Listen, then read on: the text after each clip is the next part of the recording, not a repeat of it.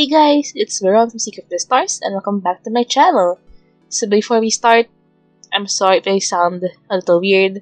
I'm having like allergic rhinitis right now. I think it's because of the weather change and my nose is a little clogged. So if I sound a little bit weird, it's not gonna be any different from last video because I was sick the last time I was recording something.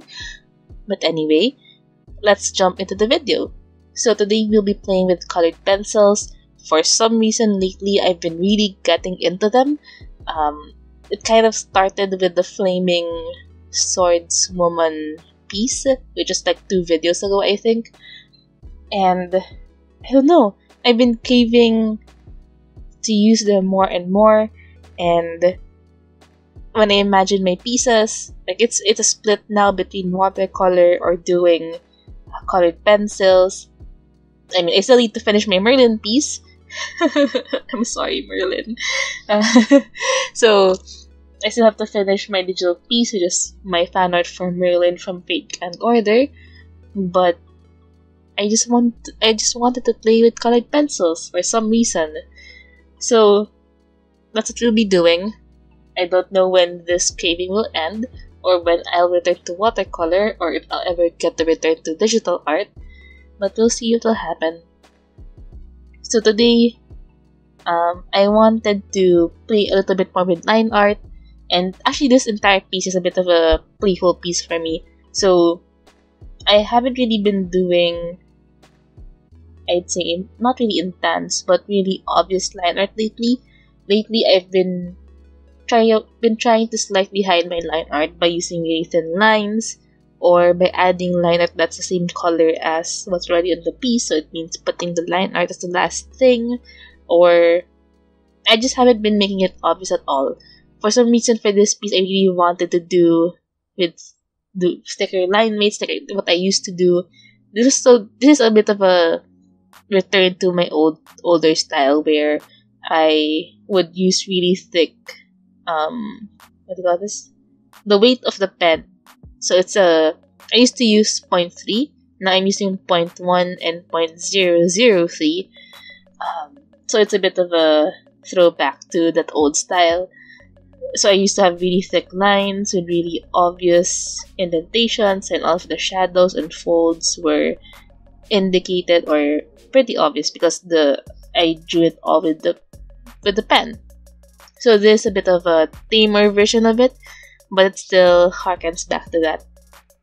So for the colors, it really was a big risk and it was a bit dangerous. Not really dangerous, but it was a big step.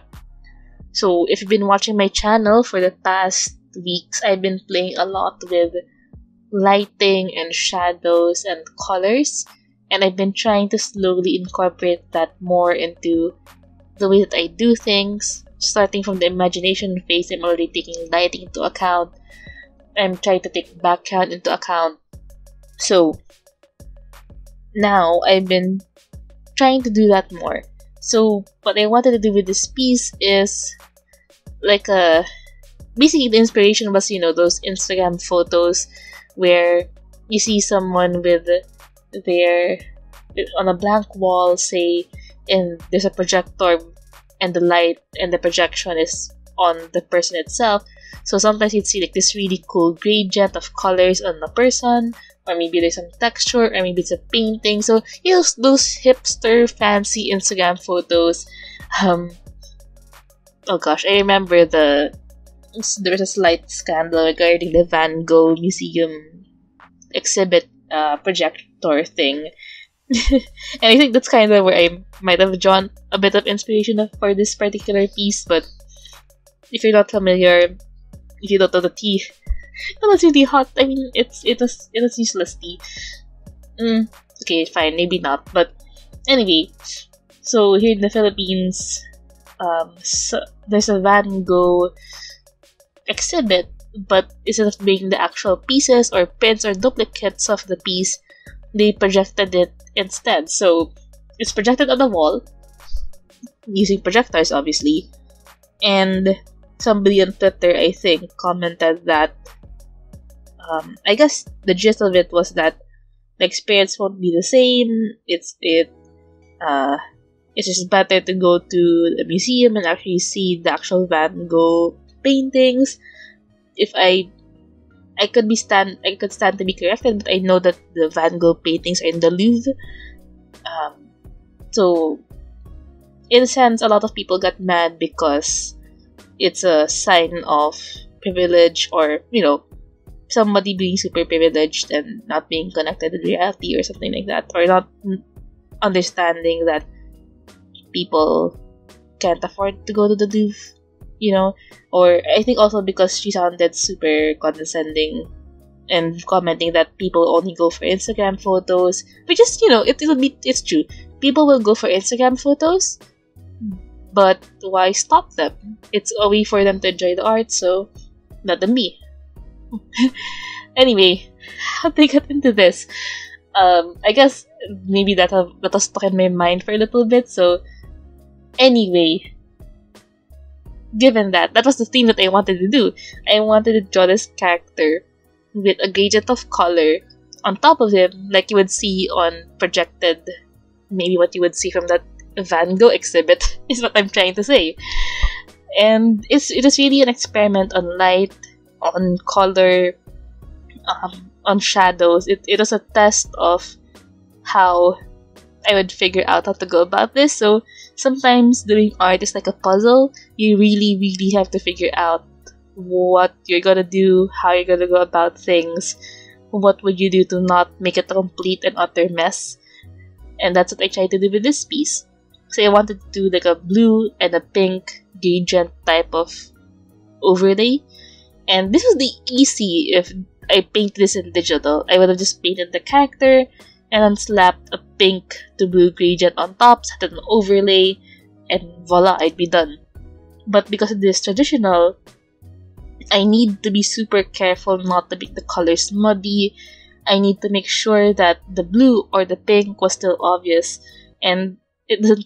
It kind of doesn't help. The character that I chose to draw today um, has really dark wine-ish colored hair, so the pink will certainly blend in, and the blue I wasn't sure if it will be muddy or if it will turn green or I don't know what would have happened.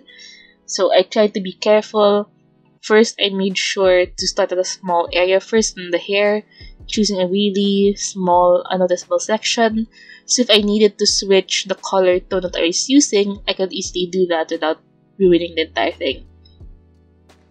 And then next, I started working on the skin, which is what you see right now.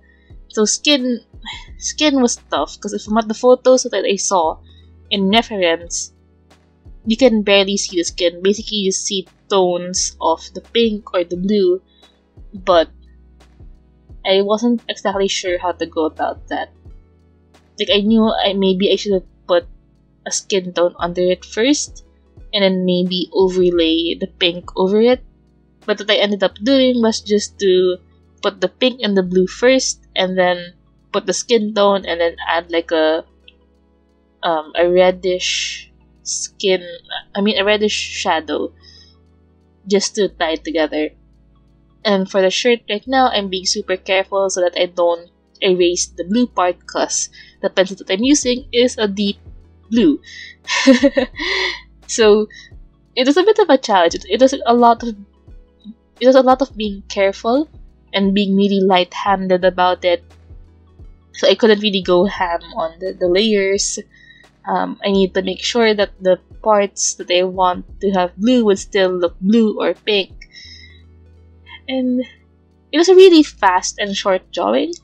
And even the sketch took me tops an hour to get done but trying to navigate how I wanted to not screw this up was the it was a fun challenge to be honest and it's not the best obviously i mean if you it'd be better if i started copying a photorealistic thing first or, or maybe i could have copied a photo first instead of just jumping right into it but you know sometimes you get ideas and you just want to do them right away.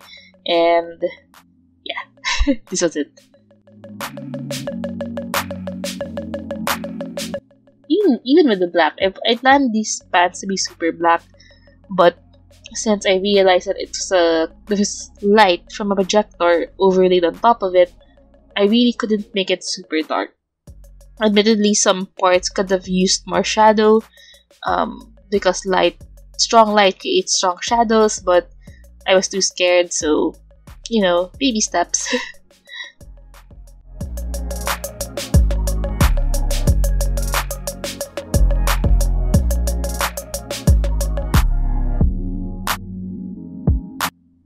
the way I hold my pencil today, it's I I did this with the flaming princess one, but I only used this kind of hold before with lead pencils, and it's to create an even coat of lead or color quickly, evenly, light-handedly. So I didn't adapt this style with coloring pencil because I assumed it I use my normal way of folding stuff, but you know, it helps. See, so there's more, there's a bit more tone variation. Um, it's actually quite comfortable to hold if you get used to it. So you might see this type of hold more often, especially when I do colored pencils. I think it applies the most with colored pencils. Mainly because it's comfortable, it's easy, it covers a lot of ground. Um, yeah, since I'm doing the background really quickly, I wanted to keep it light. I didn't want it to be super strong since I didn't want it to take away from the character.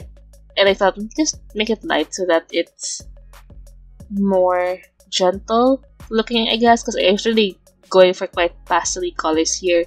I didn't want to make it too bold or striking. I guess that's something I need to work on in my future pieces. I'm quite scared of doing really really bold colors so I could work on that. Maybe in the next piece I might do more bolder colors. I mean I, I already do reds and stuff. So maybe I can do something that's very yellow and orange subject or maybe really bright colors would be interesting to do. We'll see.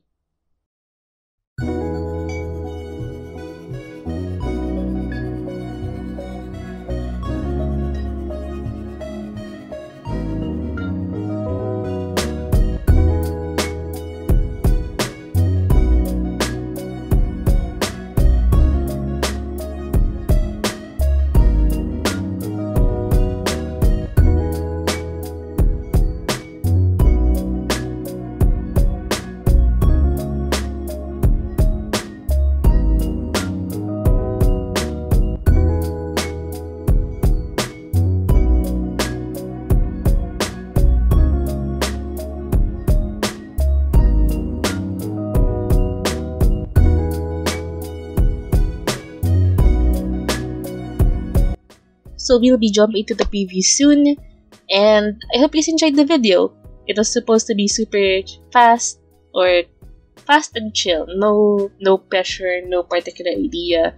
I hope you guys enjoyed the video nonetheless. Um, if you did, please consider liking or subscribing. Liking the video and then subscribing to the channel. I do a lot of, you know, art stuff. And um, follow me on Facebook Instagram, or DeviantArt for more, and I'll see you around.